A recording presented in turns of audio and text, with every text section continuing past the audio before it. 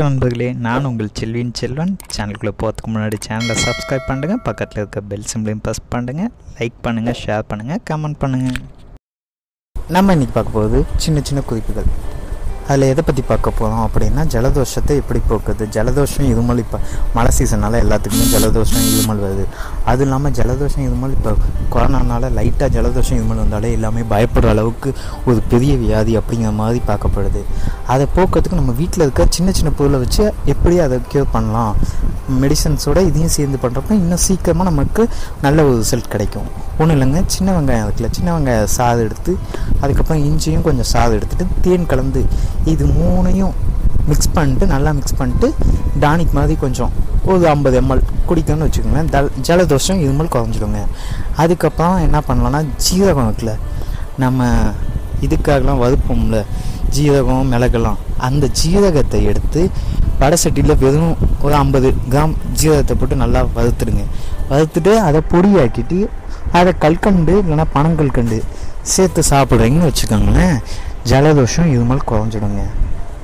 அப்புறம் சுக்கு மிளகு திப்பிலி அது மூணையும் சேர்த்து நல்லா பொடியாக்கிட்டு அதை ஒரு டம்ளர் தண்ணி ஊற்றி நல்லா அரை டம்ளர் சுண்டை காய்ச்சிட்டு அதை குடிச்சு வரீங்கன்னு வச்சுக்கோங்களேன்.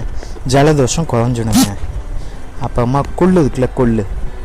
கொள்ளை அவிச்சு அதன் நீரை வடிச்சிட்டு அதில் ரசம் செஞ்சு சாப்பிட்றீங்கன்னு வச்சுக்கோங்களேன். ஜலதோஷம் குறையுங்க. வெத்தலை இருக்குல்லங்க வெத்தலை.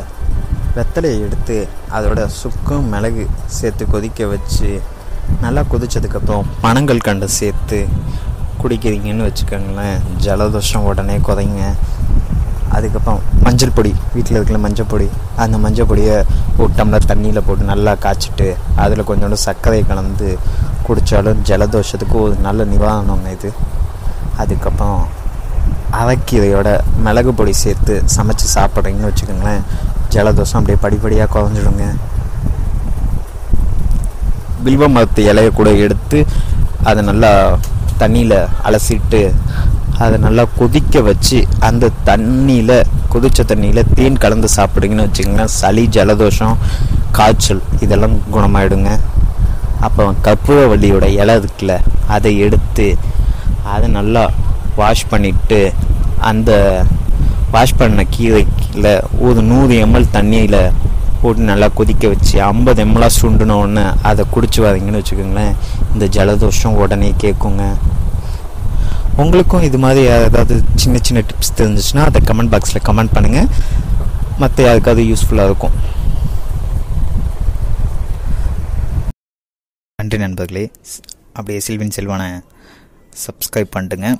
பக்கத்தில் இருக்க பெல் பட்டன் அமைக்கினீங்கன்னா நித்தம் போது தகவல் நிமிடத்தில் உங்களுக்கு வந்துடும்